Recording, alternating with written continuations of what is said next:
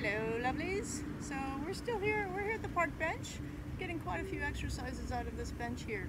Um, we've been doing some off the back, now we're going to come to the front side and see what we can do here.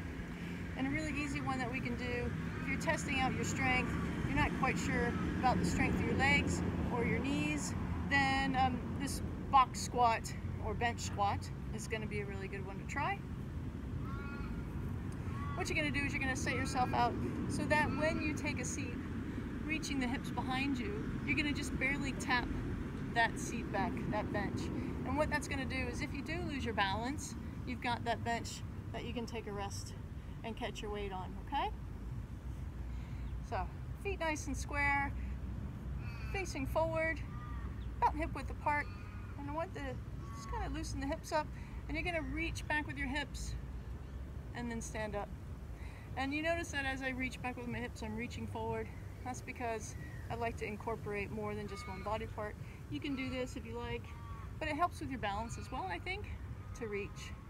And it's okay to do that. All right, so you can play with different heights.